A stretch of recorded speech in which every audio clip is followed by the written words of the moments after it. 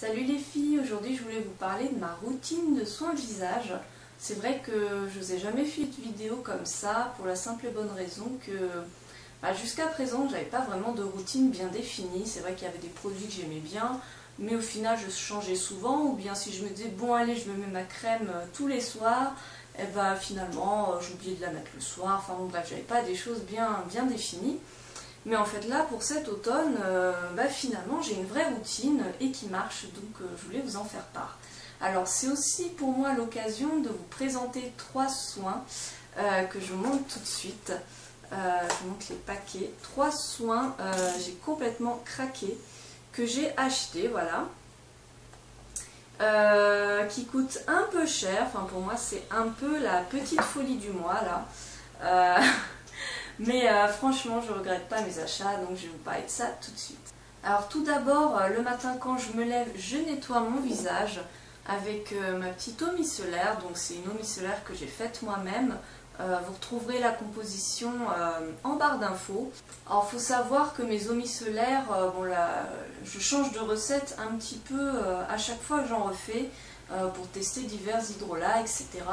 La chose qui ne change pas, c'est que je mets toujours 3% de mousse de babassou qui va être le tensioactif qui va rendre la lotion euh, nettoyante et 3% d'aloe vera pour l'hydratation. Voilà, après le reste, bon, c'est si vous voulez vous faire une eau bah, c'est un peu à vous, de voir ce que vous avez envie de mettre dedans.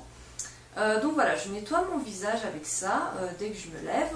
Ensuite, donc je vais appliquer mon sérum Rosa Angelica de chez Sanoflore, petit sérum que j'adore donc. Euh, suite à quoi je vais ajouter cette crème dont Nectar de Rose de chez Melvita. Je les applique sur le visage et euh, sur le cou, voilà.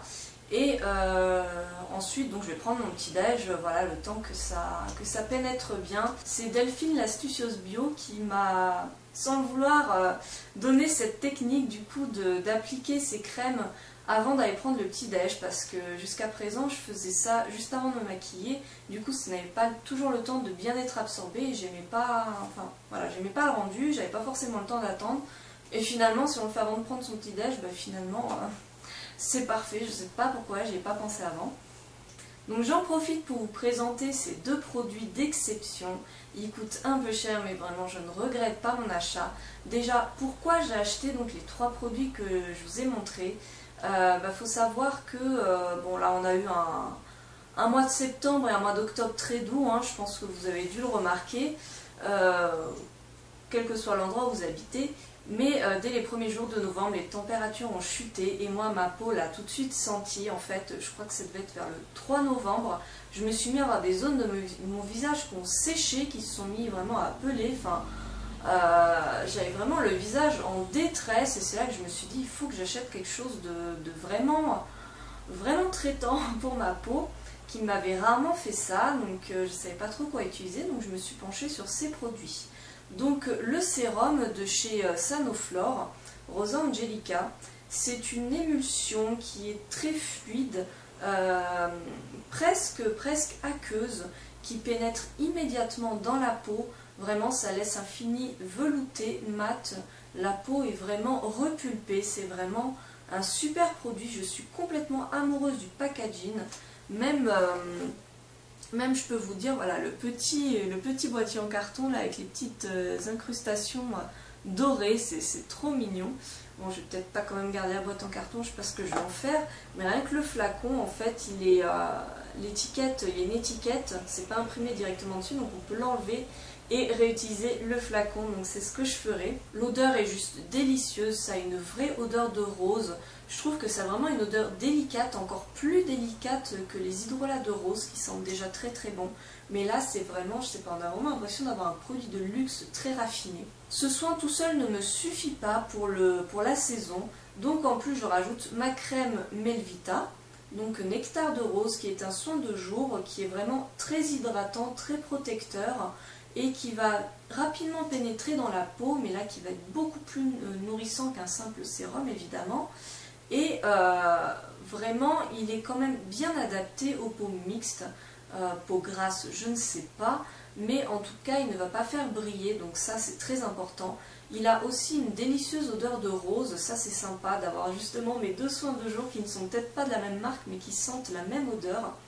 Alors là ça a beaucoup plus l'odeur d'un hydrolat de rose, mais pareil c'est une odeur très gourmande, peut-être un peu plus sucrée, peut-être un petit peu plus... Euh, voilà, un peu plus sucrée, mais qui est vraiment aussi délicieuse. J'adore ce soin. Le packaging est très élégant aussi.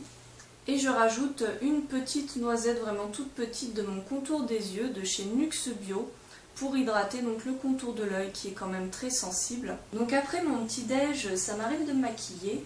Euh, pas forcément en fait. Je vous ferai peut-être d'ailleurs une vidéo là-dessus sur euh, euh, mon rapport au maquillage, qu'est-ce que je pense du maquillage, qu'est-ce que ça m'apporte. Mais euh, c'est pas systématique. Il y a des matins où j'ai envie de me maquiller, d'autres où j'ai pas envie de me maquiller. Voilà, pour moi c'est un acte de plaisir. Donc euh, il y a des moments où j'ai envie, des moments où j'ai pas envie. Donc je sais pas si ça vous intéresse que je vous parle de tout ça. Euh, mais voilà, soit je me maquille, soit je me maquille pas. Mais en tout cas, les soins que je vous ai présentés suffisent à, garder ma peau hydratée toute la journée. Je n'ai pas besoin de retouches au cours de la journée. Le soir, je me démaquille. Donc euh, j'ai découvert récemment le démaquillage à l'huile et ça je vous en parlerai, c'est sûr, je ferai une vidéo sur, euh, sur ce que j'en pense parce que c'est vraiment une très bonne chose. Donc en ce moment je me démaquille avec l'huile d'amande douce, donc là bon c'est la marque Monoprix Bio. Euh, voilà. Sinon je me démaquille aussi avec le lait démaquillant de chez Sobioéthique. Donc euh, le démaquillage à l'huile me suffit très bien, mais c'est vrai que bah, faut bien que je le finisse maintenant que je l'ai entamé, donc, euh, donc voilà. Donc je démaquille bien mon visage, ensuite je prends ma douche et je viens nettoyer mon visage avec une mousse nettoyante de chez Monoprix Bio qui sent divinement bon la fleur d'oranger. Donc voilà, mon visage une fois nettoyé, je vais l'hydrater euh, pour ça, donc c'est le troisième produit que j'ai acheté de chez Sanoflore. C'est un euh, beurre nourricier au miel qui est vraiment très très nutritif. Il va vraiment euh, nourrir en profondeur la peau du visage. il a une odeur divine. Hum, il sent délicieusement bon.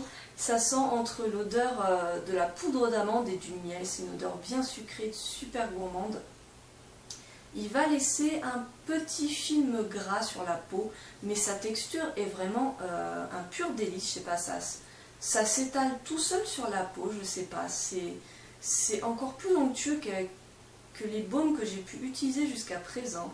C'est un pur bonheur que de l'utiliser et il va vraiment hydrater la peau, donc euh, la protéger pour qu'elle se restructure, bien, pardon, euh, tout au long de la nuit. C'est vraiment un soin que j'adore, qui n'est pas euh, à la base un soin de nuit, mais moi j'utilise comme ça et j'en suis vraiment très contente.